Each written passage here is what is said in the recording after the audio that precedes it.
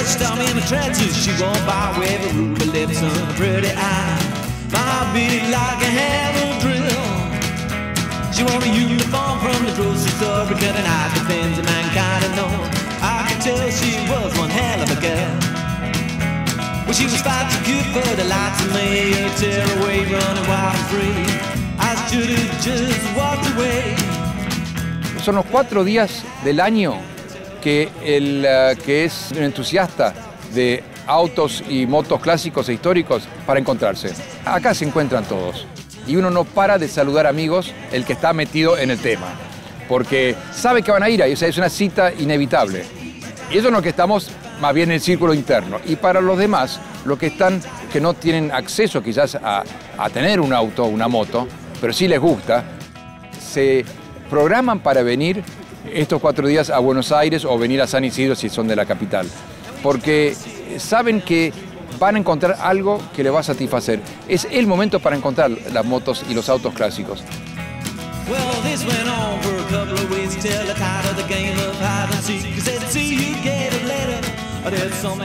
Y expuestos de tal manera que también se pueden disfrutar, porque esa es la otra cosa. O sea, la manera de exponerlos también tiene su planificación. O sea, no es cuestión de estacionar los autos en cualquier manera.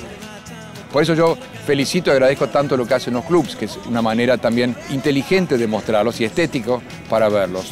Así que eso no- nos va llevando a que Autoclásica sea el momento del año para venir a disfrutar y está hecho de tal manera que es un programa familiar también, como mencionamos, porque todos pueden venir.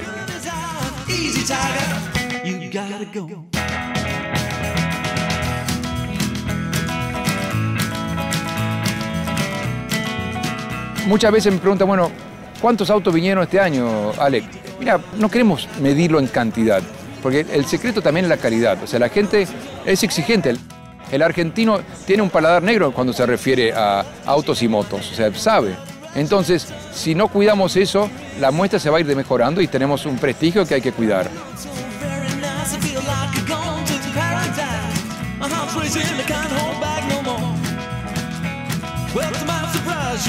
Una cosa es que sea masivo, que sea amplio, que lo que se ve acá sean autos no solamente europeos de altísimo nivel, de pedigree, etcétera, sino también lo que tenemos nosotros con los cuales aprendimos a manejar, autos fabricados en Argentina hace 40 años atrás, pero tiene que tener dos cosas fundamentales.